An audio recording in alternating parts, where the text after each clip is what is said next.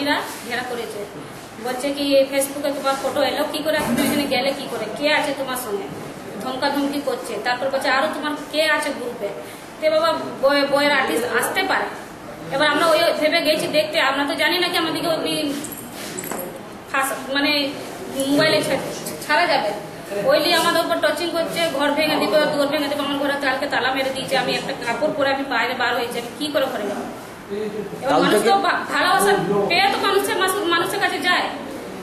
কাল থেকে আপনি ঘরে ঢুকতে পারেননি? কাল থেকে আমি ঘরে ঢুকতে পাইনি আমার ছেলে মেয়ে কি খাচ্ছে না খাচ্ছে তাও জানি মানে কবে থেকে ঘটনাটা হয়েছে? কাল রাত্রে আটটা থেকে কি বলছে ওরা? ওরা বলছে আসুক আমার কাছে ক্ষমা চাক। আমি কি জন্য ক্ষমা চাবো আমি কি অপরাধ করেছি? কাদের দল এটা? ওই এটা আছে এই, তৃণমূলের দল। আমি তখন সেই মেয়েটিকে নিয়ে আমি থানাতে যাই। আমার বিজেপি পার্টির কয়েকজনকে নিয়ে আমি রাত্রিতে থানাতে যাই।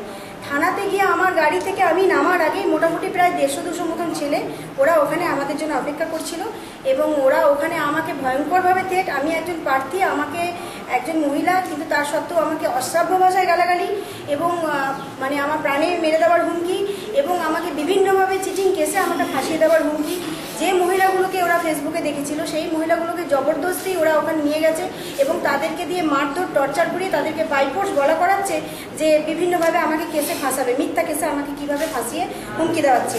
এবং পরবর্তীকালে আমি যাতে ওখানে প্রচারে না যাই, আমি যেন ওখানে কোনো আঠারো নম্বর ওয়ার্ডে যেন আমি না ঢুকি, আমার কোনো ফ্ল্যাগ আমার কোনো ফ্লেক্স যেন ওখানে না টাঙানো হয় এবং আমাকে ওখানে কোনোরকমভাবে ওই ওয়ার্ডে আমি পা রাখলে আমার পা কেটে দেবে এবং আমাকে প্রাণে মেরে দেবে। এটা কি পুরোটাই কি কি হ্যাঁ টিএমসির ওখানে বেশ কয়েকজন ছিল আমি তাদেরকে চিনিও ব্যক্তিগতভাবে আপনারা যদি নাম বলতে বলেন আমি বলতে পারি হ্যাঁ কে কে ছিল?